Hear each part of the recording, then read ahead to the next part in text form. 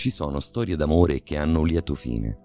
Due giovani si conoscono, si innamorano, magari superano le difficoltà, ma poi alla fine coronano il loro sogno. Poi ci sono storie dove non c'è il lieto fine, perché le cose vanno male e gli ostacoli sono insormontabili.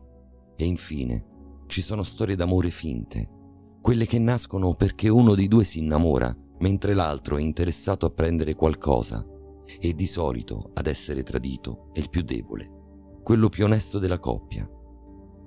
Questa è la storia di un amore tradito che portò alla devastazione della città di Altamura.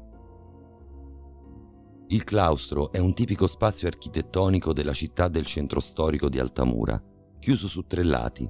Rappresenta la simbiosi di varie popolazioni di diversa etnia, chiamate dall'imperatore Federico II di Svevia nel 1232 per ripopolare la città.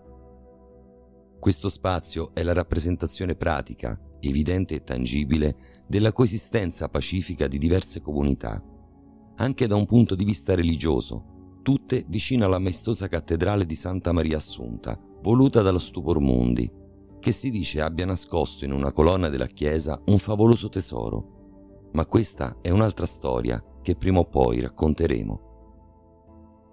In questa strana e cosmopolita città voluta da Federico II, ogni claustro ha un nome e ogni nome rimanda a una storia.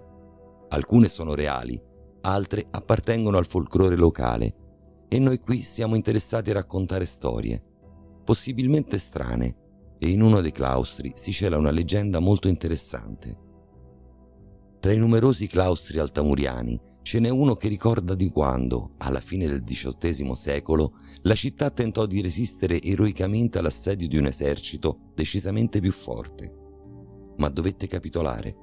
Questo porta il nome di claustro tradimento. Ma partiamo dall'inizio. È il 1799 e sono passati dieci anni dalla rivoluzione francese e il vento della libertà e della Repubblica comincia a soffiare in tutta Europa.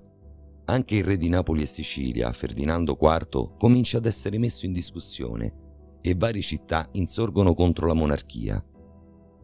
La rivoluzione altamurana ebbe luogo nel febbraio 1799, ispirata ai principi di libertà, uguaglianza e fraternità, ma la risposta dell'esercito borbonico non tardò ad arrivare e fu spietata.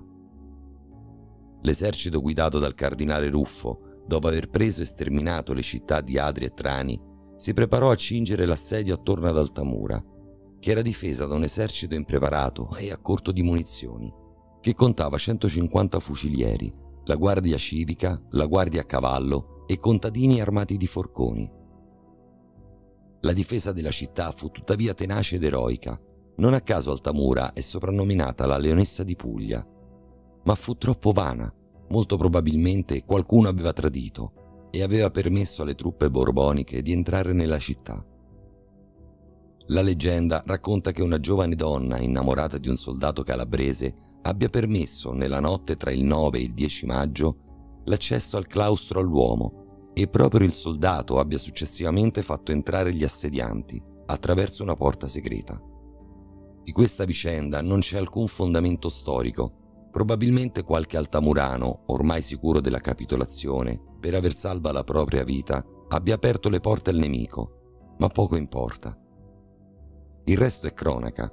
Ruffo riservò ad Altamura lo stesso trattamento delle altre città conquistate e per 14 giorni in città ci fu il terrore. Il resto è storia. Rimane la leggenda di una fanciulla che nonostante l'orrore che stava vivendo è riuscita ad innamorarsi e a noi piace più questa versione di quella più probabilmente del tradimento di un gruppo di abitanti che ormai si vedeva spacciato. È molto più romantico e affascinante raccontare la storia di una ragazza che coltiva un sogno e non volendo rovina la città, che venderla al nemico per interessi personali.